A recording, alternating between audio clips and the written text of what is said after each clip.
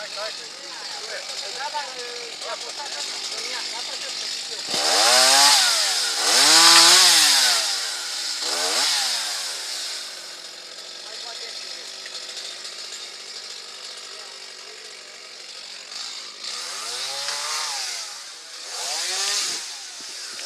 Joi după amiază, după o ploaie care a durat aproape o oră, mai multe mașini au fost distruse într-o parcare din Pitești, după ce un copac a fost scos din rădăcini de vântul puternic. Oamenii spun că vinovați de această situație sunt cei care, în vară, au reabilitat zona și au săpat mai mult de un metru în jurul copacului, tăindu-i rădăcinile. Primăria, nu uitați în judecată? Păi o să-i dau în judecată, dar știi, până ne judecăm cu primăria, mașina trebuie reparată, da? Și după aia vedem noi dacă rezultatul procesului. Cum se procedează, Dar noi știu nu că știm cum se au procedează. Parcați de regulă, nu? Da, păi e parcarea noastră, că stăm în blocul ăsta aici. Aici, stau la etajul 1. Și nu chiar numai aici, ieri că lucrau acolo.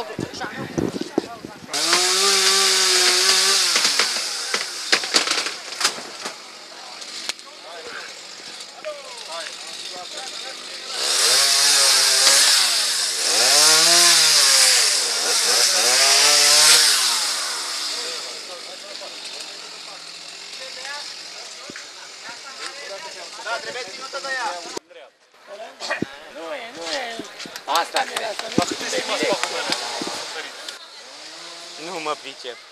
Câteva milioane bune. Și nu se suportă reparația. Eu? Primăria nu e de vină? Păi și, uh, și cei care au construit. Da, deci noi le-am spus la constructori să taie și pluta, pentru că au făcut, uh, ad- uh, au săpat foarte adânc, în jur de un metru, un metru și ceva. Și automat au tăiat și rădăcinile. Noi le-am spus la constructori și au zis că nu au voie să, să taie copac. Și acum... Mașina văd că e aproape nouă. Nu, da. A fost, acum nu mai este. Nu. Proprietarii mașinilor distruse spun că îi vor da în judecată pe responsabilii lucrării, mai ales că niciunul nu are casco. Sunteți proprietarea de aici, de la de, de Terano? La cât estimați pagubele? Nu mă pricep, să vină soțul meu, eu nu mă pricep. Deci e parbrizul, capota, care nu se poate, trebuie schimbată, că fiind uh, tabla groasă și cu striații, deci trebuie înlocuită, și aripa. Deci ce s-a văzut, Cei de la ADV? cei de la care au tăiat rădăcinile sălciei, când s-a făcut uh, reabilitarea orașului, s-au tăiat rădăcinile sălciei. Bănuiesc că nu aveți cască la ea, nu? Nu, bineînțeles că nu. O să dați primăria în judecată? Trebuie să ne asociem, probabil, împreună cu ceilalți uh, păgubiți și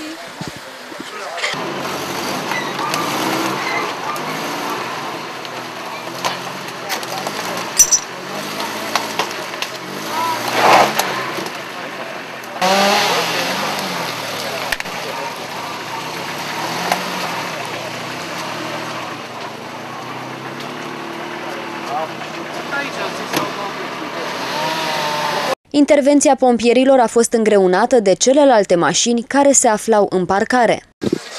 Ce ați găsit în fața locului când ați ajuns? Detașamentul Pitește a fost solicitat pentru degajarea unui copac căzut pe mașini. La fața locului am găsit un copac, avariind patru mașini destul de serios. Încercăm să eliberăm uh, copacul după mașinile respective, pagubele fiind destul de semnate. Pagubele depășesc 10.000 de euro, două dintre mașini fiind aproape noi.